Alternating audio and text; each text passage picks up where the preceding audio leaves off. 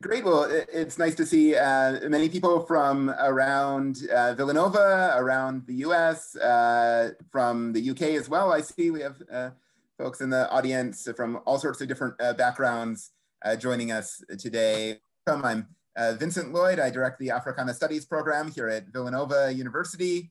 I also teach in the Theology and Religious Studies program. And we're very excited to be offering this event on a topic that's uh, much in the news uh, of recent days of interest uh, in politics, in the academy, in law, uh, and uh, as we're thinking about uh, the resources that critical race theory might have for thinking about questions of race, thinking of questions of, of justice, um, and why it's prompted such lively conversations of late. Uh, and uh, we're pleased to have uh, three distinguished colleagues with us. I will just introduce our moderator. but before that, I should say, if you're interested in learning more about the activities of Africana Studies at Villanova, you can always follow us on social media at Nova Africana.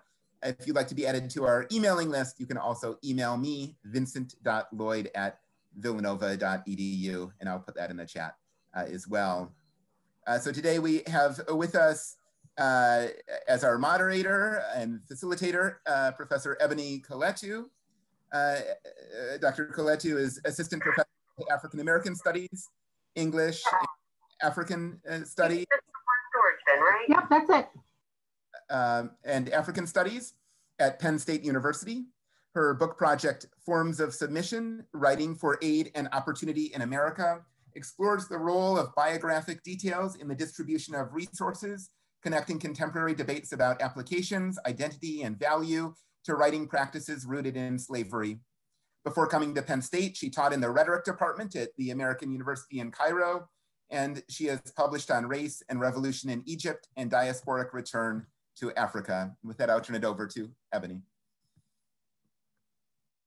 Thanks so much, Vincent. It's such a pleasure to be here and to be in conversation. So um, I just want to reiterate, if anybody who came late wants to go ahead and mute themselves, that will uh, mean that you can choose when to enter the conversation uh, a little bit later during the Q&A. And with that said, um, there is a chat, I think. Um, Vincent, we don't have a separate Q&A, right? Okay, good. So when you have a question, feel free to drop it in the chat. And when we open it up, I'll be able to scan and pull your questions. And I'll also introduce some questions too.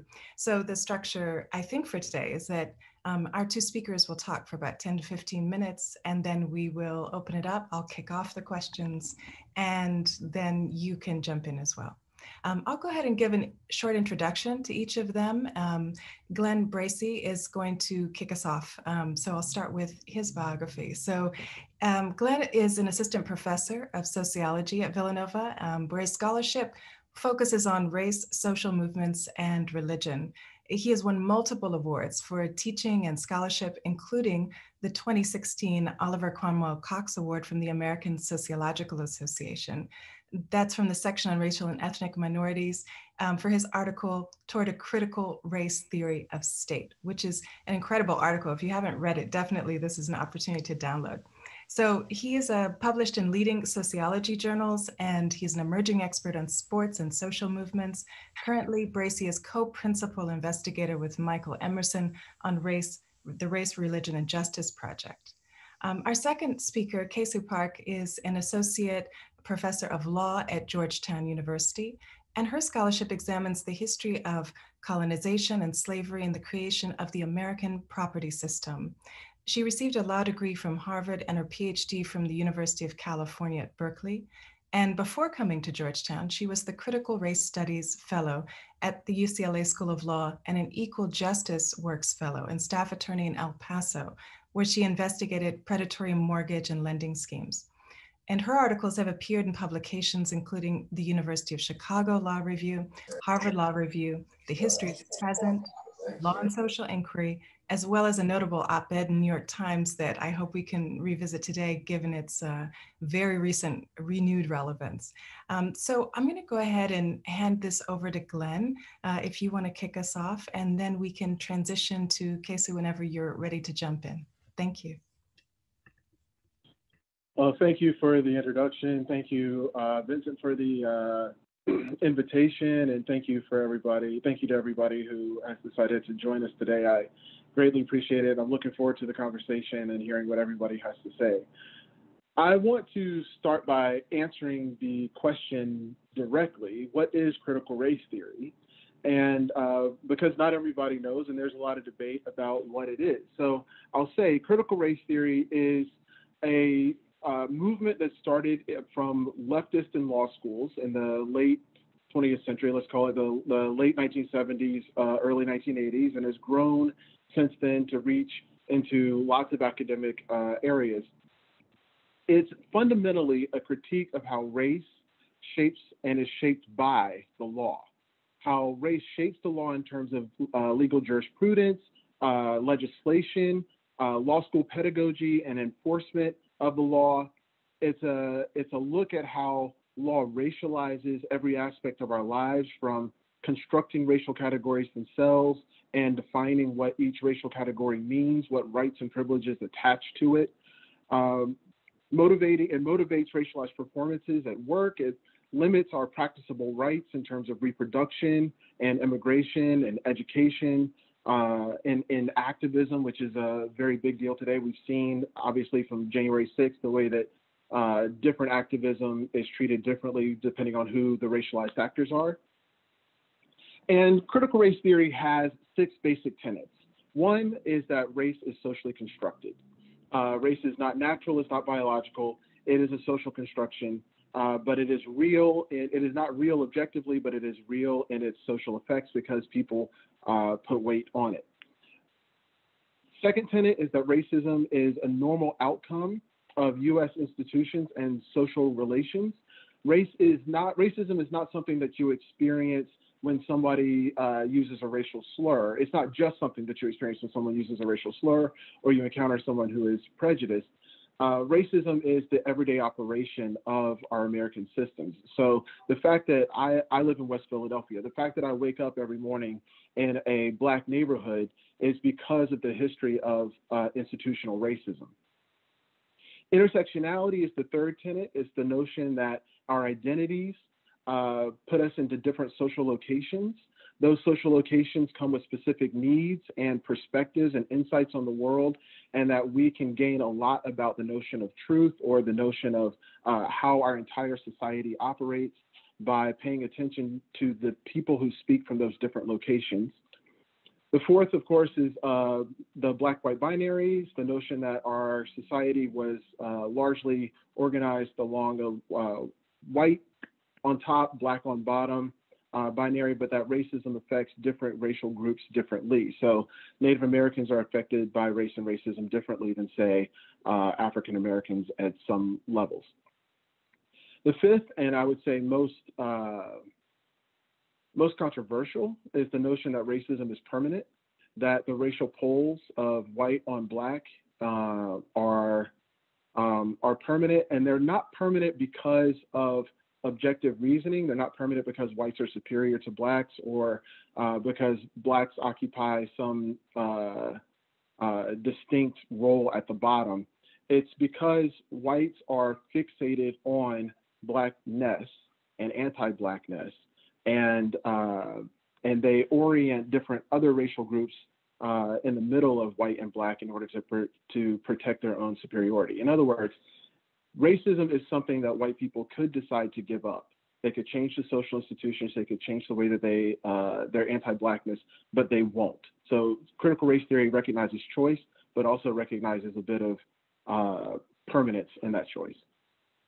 And the last is a commitment to narrative that uh, the law normally excises uh, things that it sees as extraneous, but those extraneous things are the things that animate our racialized world. And without them, without seeing how race contextualizes everything in, in our in our lives, uh, we end up with fundamental injustices.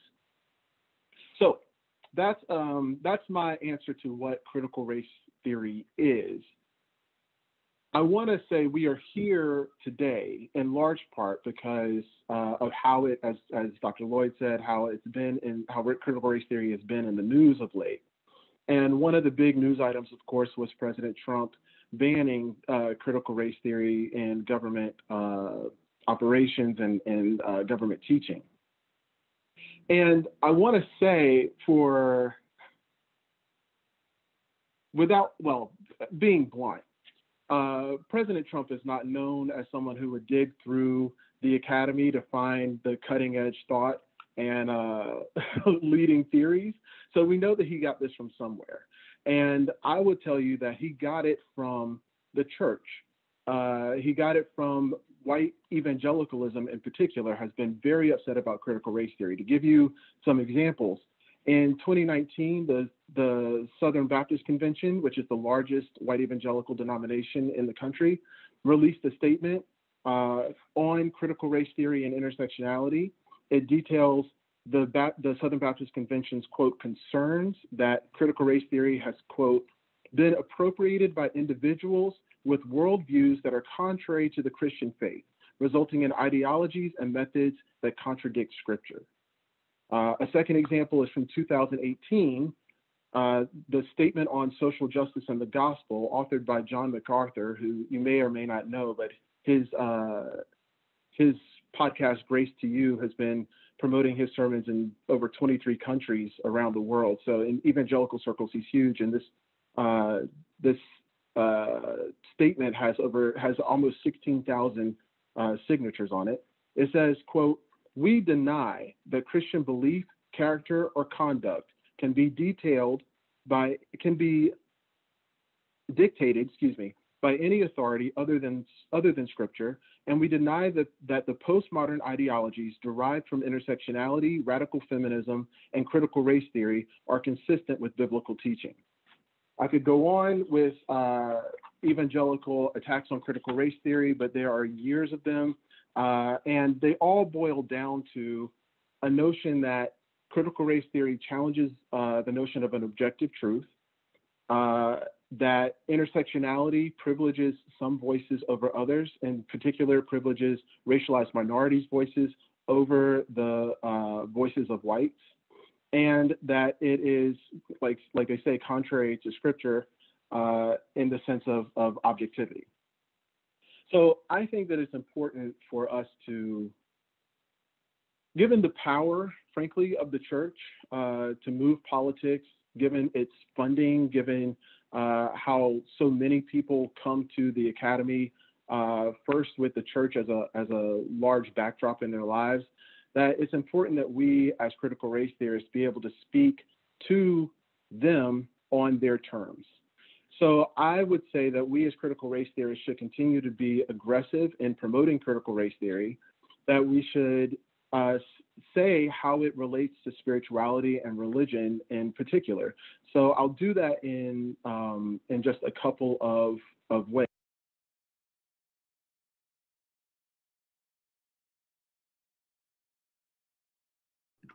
We lost you.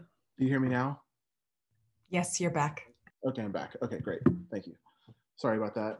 Um, one is to say that evangelical Christians are very upset about critical race theory because it is self-consciously grounded in Marxism. Now, when evangelical Christians hear is grounded in Marxism, what they think is religion is opiate of the masses, right? That religion is a distraction from justice, that religion is nothing more than uh, fictions that are are uh, that make people deviate from reality. And of course, evangelicals hold that religion is the ultimate reality.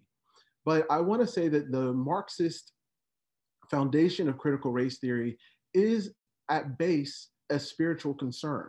If you read Marx, you know that he was concerned about alienation, specifically alienation of the species being, that element of humanity uh, that provides creativity, that is unique to the individual, uh, that really gives us, it, it, it is what defines humans from animals in that case. And that Marx was concerned that our modern systems were flattening that humanity and, and alienating us from the creative endeavors that, that we were, uh, well, Christians would say, we were designed to uh, emulate and to, and to practice. So the core question for critical race theory is one of releasing people, especially people of color, especially Black people, from uh, the oppressive systems that deny us access to our species being, including racism.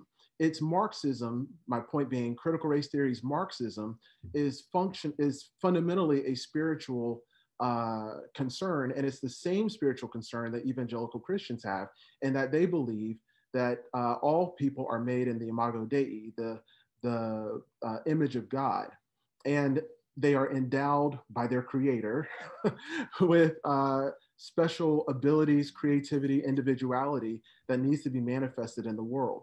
So the, the church and critical race theory actually have the same, uh, the same purpose when with respect to uh, the Marxist origins, even though evangelicals don't seem to recognize that.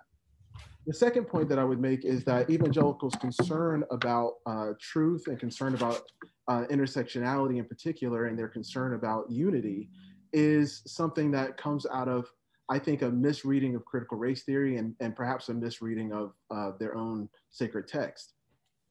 Uh, I'll give you an example. So intersectionality is an argument that uh, we need to, that we've historically privileged the voices of the dominant group that we need to privilege the voices of the subordinate group in order to get a better and more holistic view of what the truth is. That parallels a scripture, and forgive me for reading uh, from the New Testament. This is uh, 1 Corinthians chapter 12, verses 23 through 25. It says that Christians are all part of one body, quote, and those members of the body which we think to be less honorable, on these we bestow greater honor and on and our unpresentable parts have greater uh, have greater modesty. But our presentable parts have no need.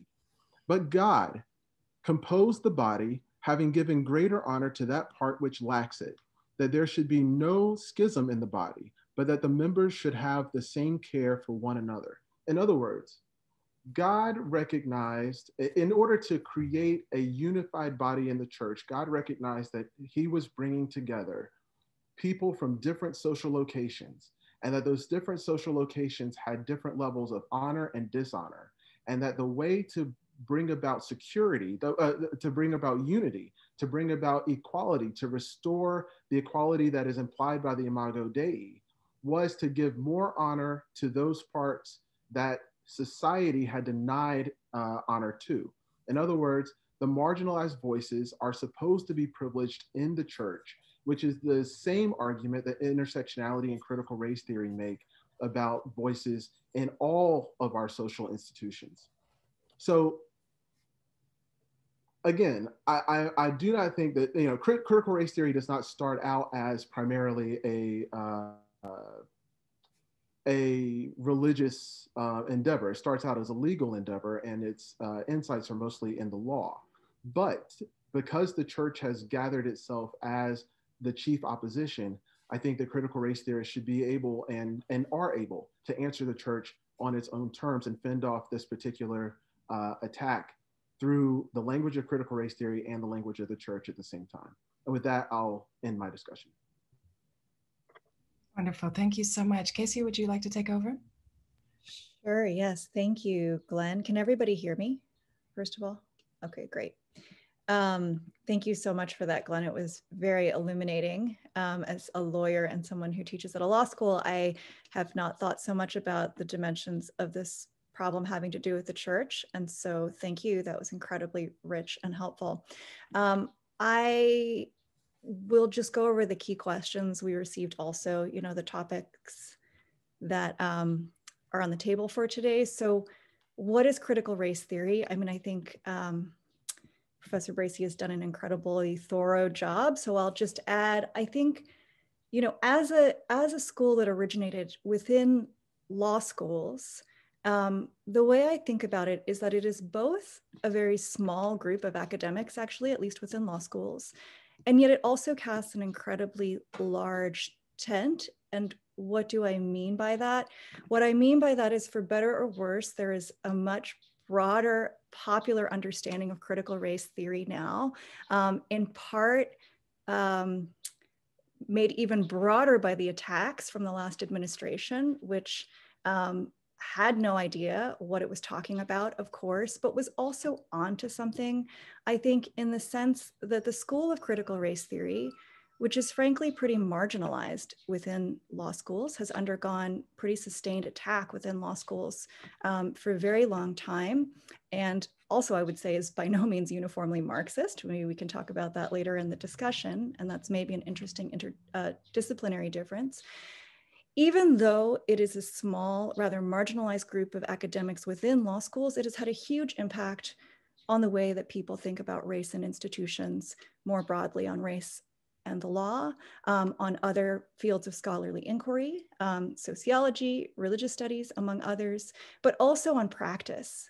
And this takes us back to the kind of locus of the law school and what we do. Um, this is evident in the kind of diversity trainings on implicit bias um, that the administration was protesting and, and outlawing, but also in how courts and practitioners, advocates think about context and history um, and where and how these questions of race are arising in the phenomena that they see as they seek to govern. Um, so why does that matter today? I think I think everyone who's here this afternoon for this session is already on board with the fact that it matters. Um, race is something that everyone's got an opinion on, but there's obviously a lot to think about and learn. And I would say that's especially true that we can learn a lot from scholarship, specifically with respect to the question of institutions um, and law, the history of institutions and law, um, raises an enormously complex issue in terms of how it works through those institutions. And it is not very well understood because that study has been marginalized for most of the existence of these institutions, educational institutions included. And consequently, there are very well established stories about governance, about Congress, elected officials, fields like property, contracts, and so on and so forth go all the way down the line. Anything you can think of, evidence, civil procedure. Um, there are very well established stories about American history and law um, that everyone is familiar with that are built on a complete erasure of the issue of race and the histories of conquest and slavery, which is what I study. Um, so again, this is not just a scholarly inquiry. This does mean that the stories are wrong. Um, but it's not just a matter of more accurate facts. Obviously, it's also a practical question of how we design our institutions, think about our institutions, practice within those institutions, and also one about popular consciousness and a sense of um, what this nation is.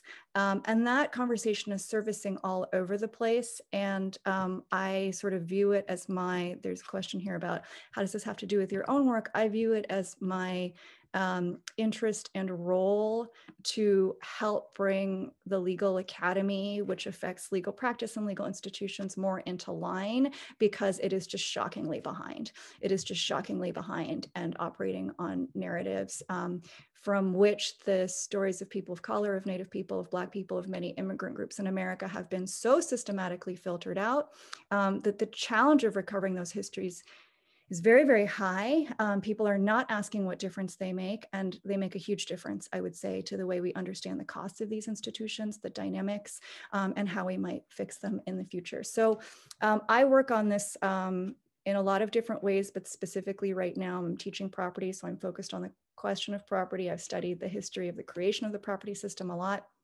And I'm happy to get into more specifics, maybe in Q&A. Um, I don't want to bore you with all of the details, but um, you know, just to be concrete about it, one part of the work that I'm doing entails going back over 130 years of modern legal education and text to show how the understandings people have have come about basically to show people there's no good reason for what you do. There's no good reason. There are racist reasons, you know, there are all of these correlations with, um, you know, the history of Jim Crow and conquest um, that explain why these histories were dropped, omitted, erased.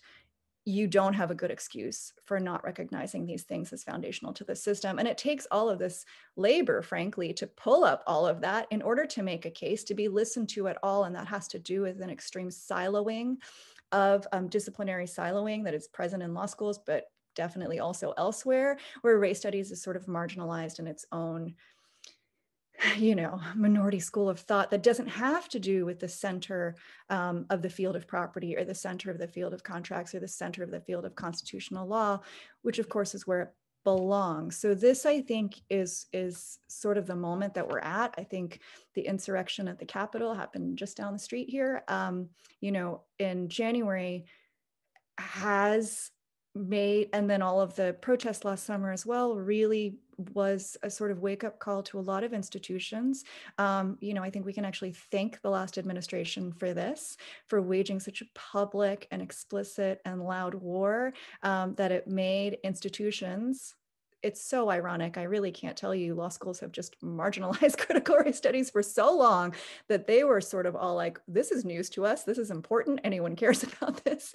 Anyway, um, it is sort of a favor um, that I think we have to acknowledge that they did us of centering this question and saying, um, this is what we view as a threat because it is a threat. It is what has been changing society and changing people's sensibilities. The students certainly know it. The students are hungry for this, um, but there is considerable resistance within these institutions and a lot to work through. You know, um, understandably, also to be told that all of your established understandings, received understandings of your field and your knowledge and your expertise um, are built on erasures is um, is kind of hard to swallow. So I think that's the moment we're in is trying to confront these questions and try to do it all at once, understand how it is that we got here, and also try to take stock of all the things that have been left out of the analysis for so long to get a clear sense um, of how to move forward of what the problems actually are in the present, lest we fall back on some other received understandings that we haven't properly understood,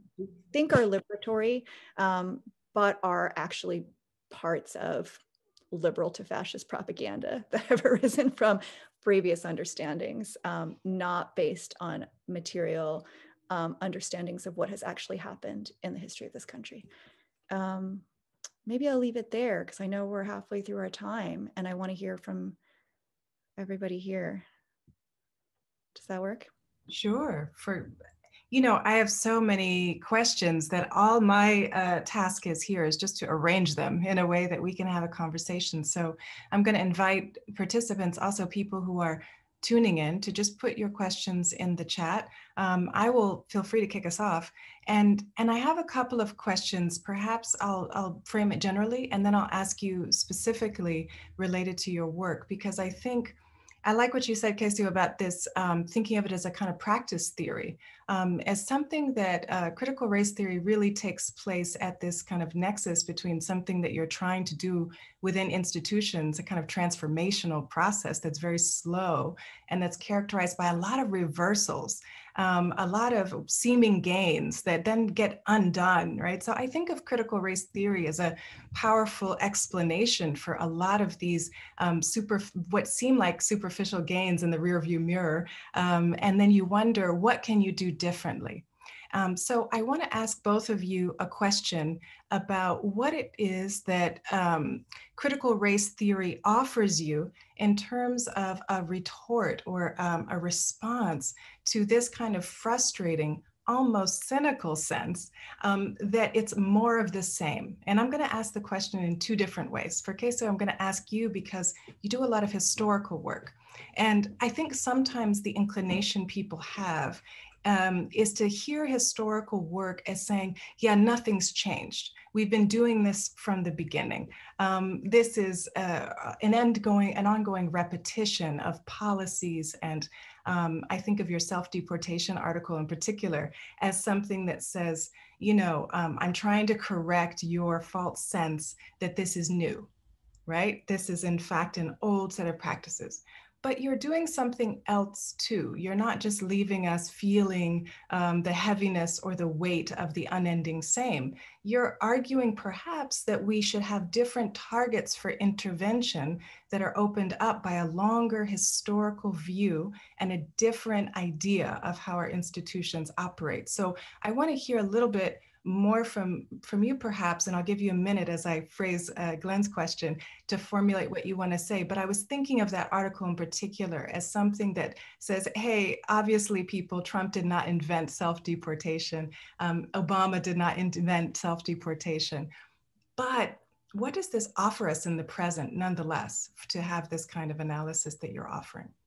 Mm, thank you so much for that, Ebony. Um, that's so generous, and I really appreciate that um, that recognition that there are at the same time really um, longstanding patterns that I do aim to point out, um, as well as to show the dynamism of institutions of law and also racialization, the processes of racialization, and how those two things are imbricated and shape one another. Um, these things change over time and they change for specific reasons towards specific ends and there is always a contest right so there are always people fighting and the sort of insight i want to offer is a little different based on what it is I'm specifically talking about. So in the self-deportation example, you know, that paper was in part aimed at this field of immigration law, which is, you know, no disparagement to them whatsoever. They are um, frontline triaging constantly, but very much focused constantly on this question of deportation, deportation,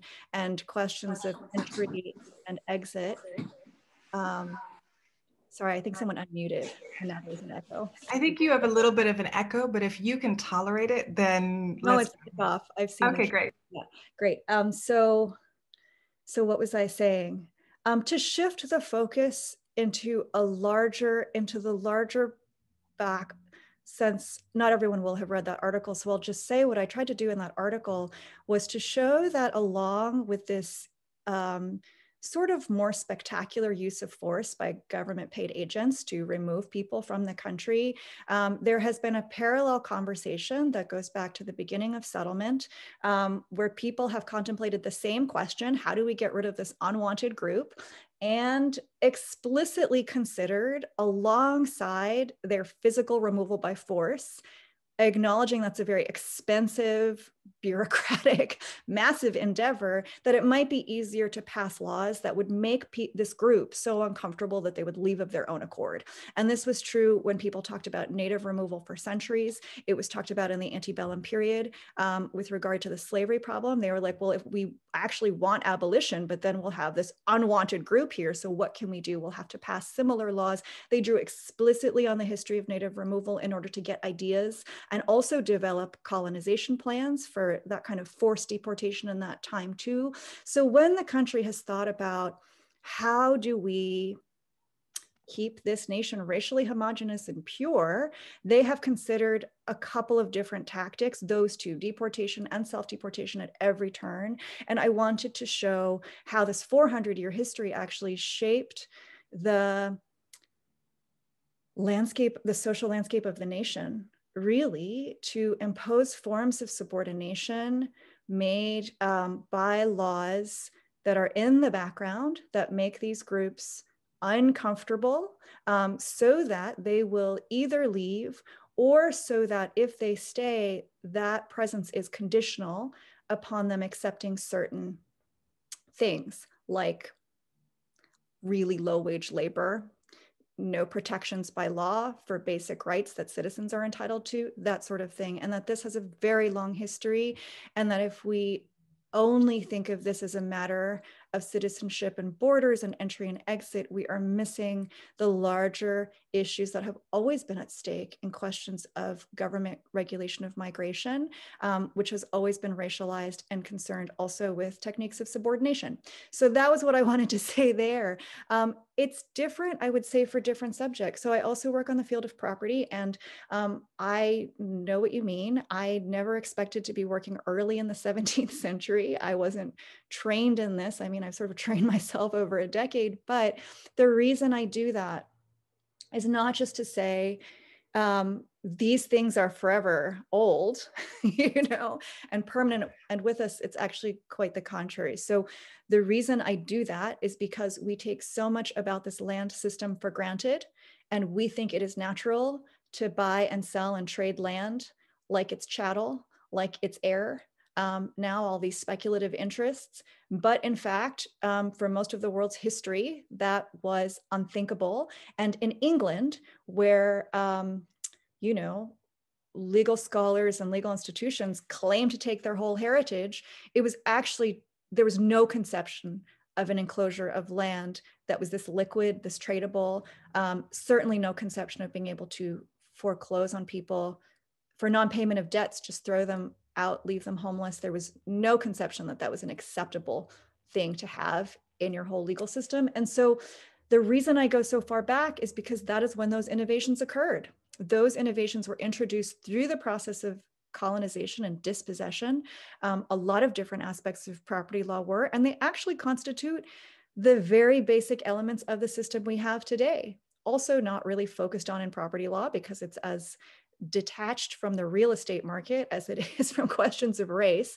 So, I'm trying to bring these both together to say the land system that makes real estate liquid, the comprehensive title registry, the system of survey, mortgage foreclosure for non-payment of debts, um, this sense of ownership even as absolute um, power to exclude anyone from this thing that is yours, all of these notions developed in specific ways through the process of colonization, some earlier, some later, and I'm tracking their development through this time in order to point out that, yeah, some of these are pretty old because they worked very well. So they were adopted by the colonies and then the United States and have become a permanent part of our land system that we take for granted.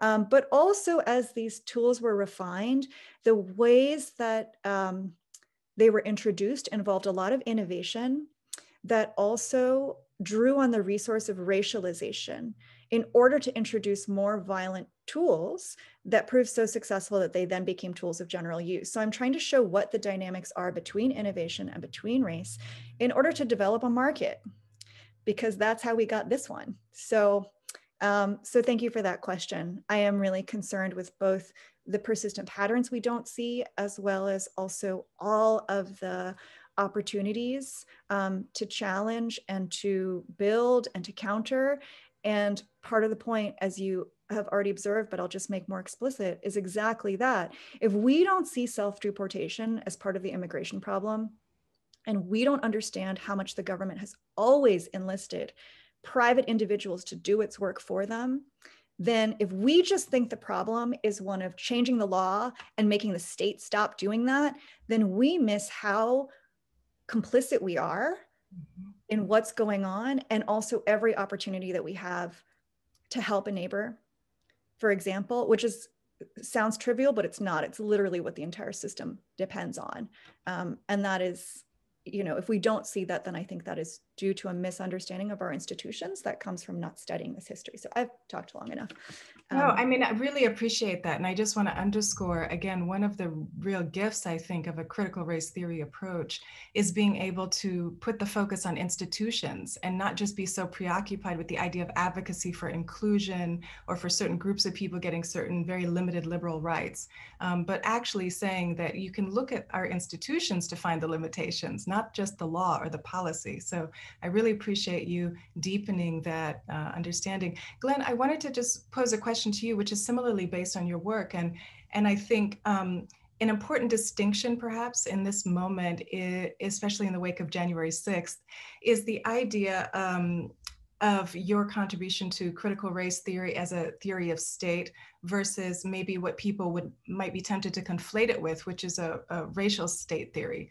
Um, I think they sound so similar to most people. It seems like yeah, basically one is a version of the other, but um, it's it's in a lot of ways very important for you to argue um, a distinction in order to really surface or make more um, articulate the kinds of dynamics that are rendered invisible um, by converging, let's say, state interests with the interests of a particular group of unnamed people, right? Um, so I wonder if you could just say more because there's some real benefit there, maybe in adding some texture to this conversation about what CRT offers. Wow, that's a big and complicated question.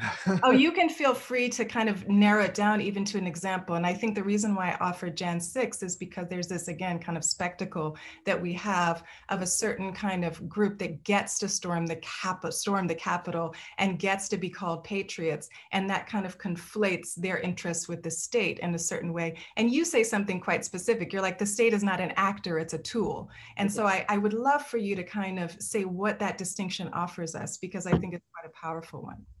Sure. So let's let's start with the notion of the racial state, which is uh, Omi and Winant's um, uh, formulation of the state that's, I, I would argue, based in uh, pluralism and uh, a semi-autonomous view of the state, uh, in which the state has, it, the, they claim that the state has interest of it of its own apart from uh, apart from society. But then when you read closely, you realize that the state the the interests that it presumes are the state's interests are actually the the interest of whites, and uh, they have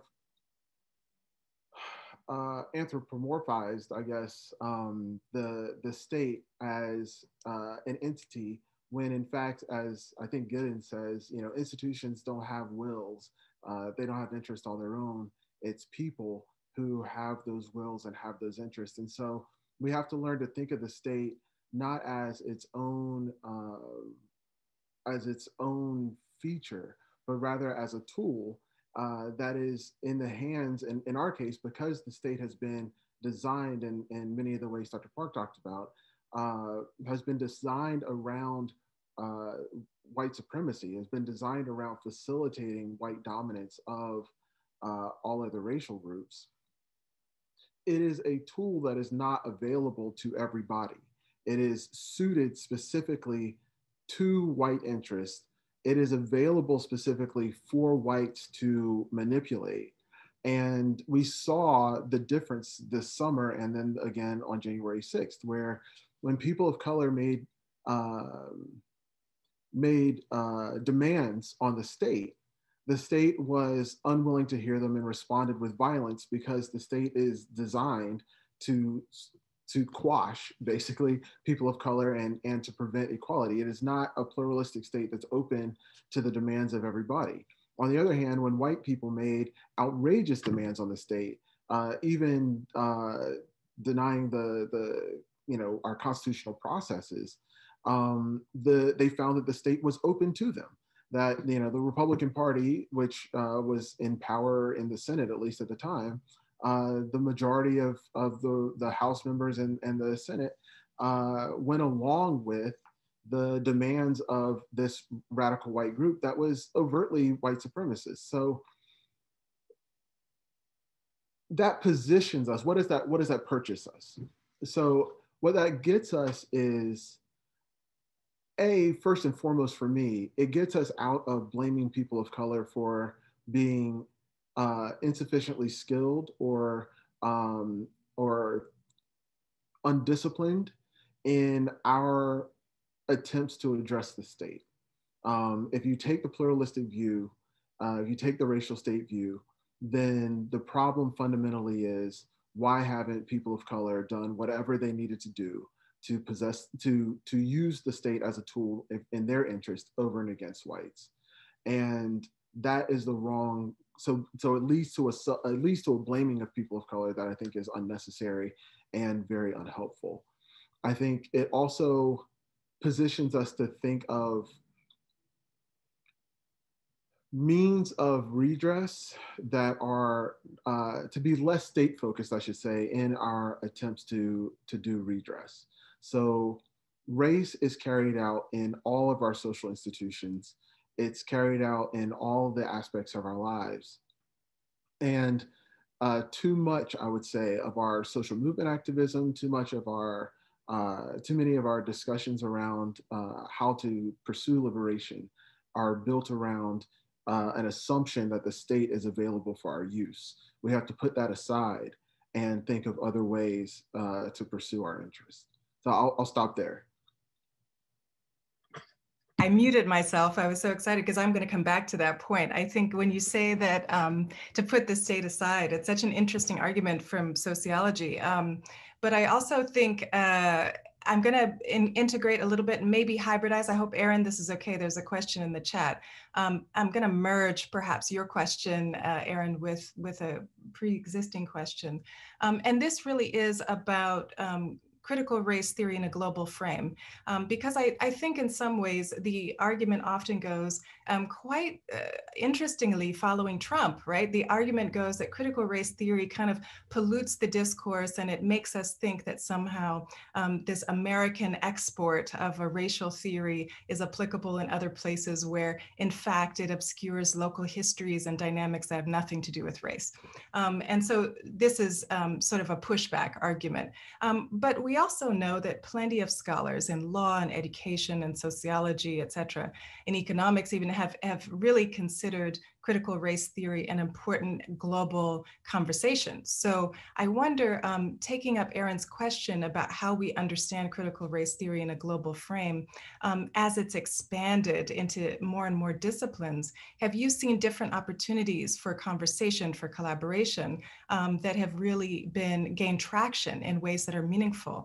Um, and then the second part of that question that Aaron points out, of course, this has been recently in the news from French academics. Um, he says after a teacher was beheaded, saying that these conversations, quote, needed to fight intellectual currents coming from US universities that view society through the lens of ethnic origin, religion, or gender, rather than the French Republican ideal of equality, because they risked the fragmentation of society and created a vision of the world which converges with the, in, uh, with the interests of Islamists. So, of course, this is you can answer in any way you would like, but of course, this French kind of disposition toward racializing Islam uh, is also true in the US. And so we can think of racial formations also including religious identities uh, as well. Um, so if you want to think maybe about CRT in a global frame and what conversations that enables, and then maybe kind of as a as an um, addendum to that, maybe this French retort. Uh, you have something to say to that as well.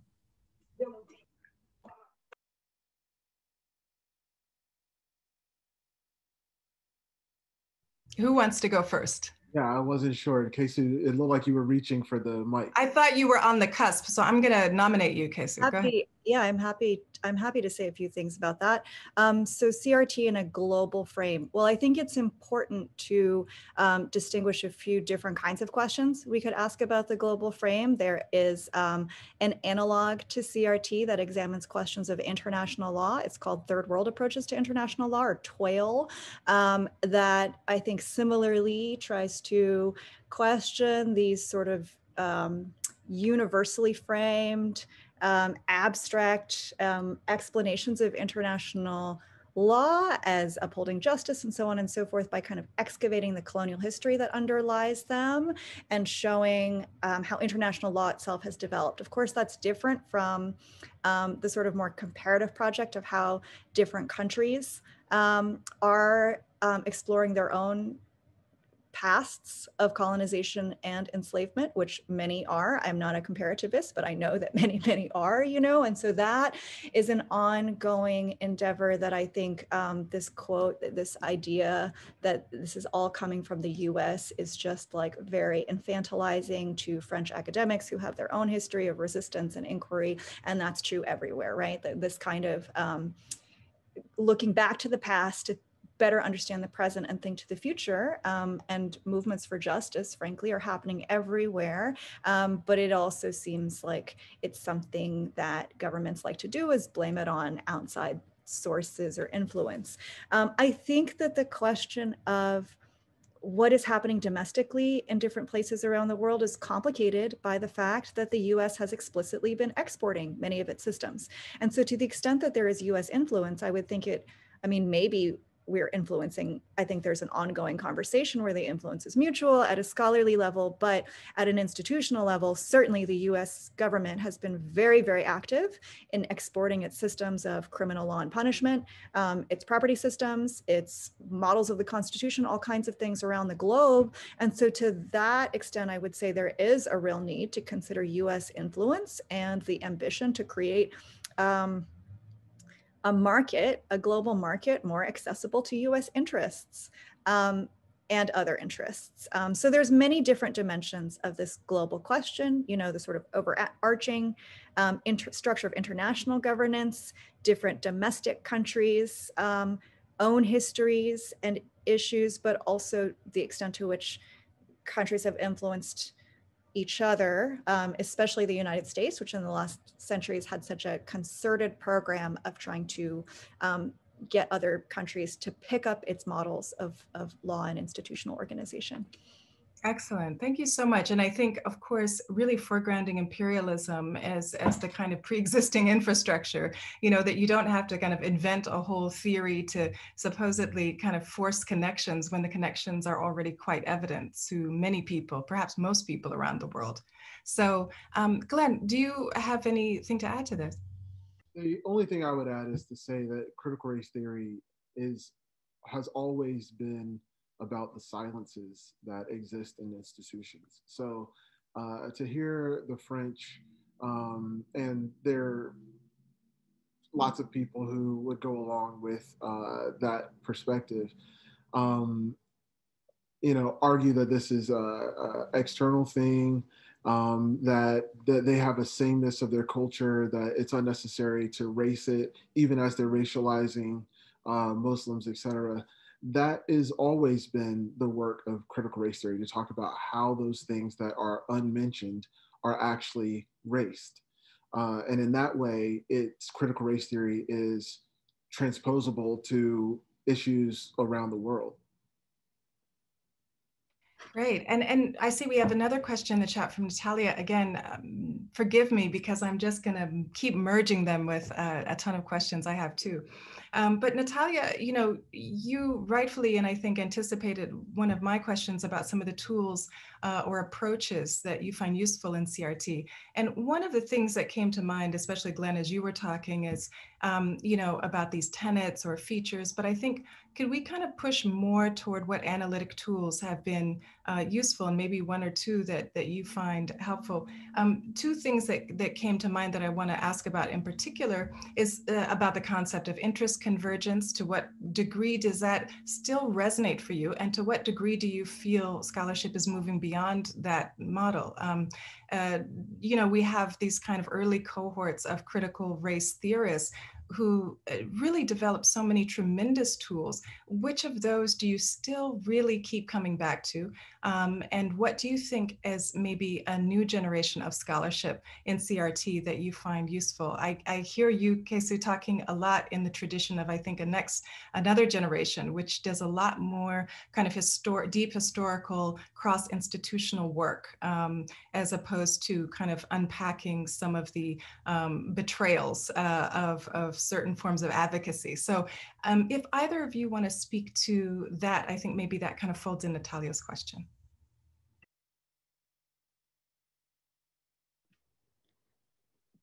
Do you want to go first, Glenn, or do you want me to?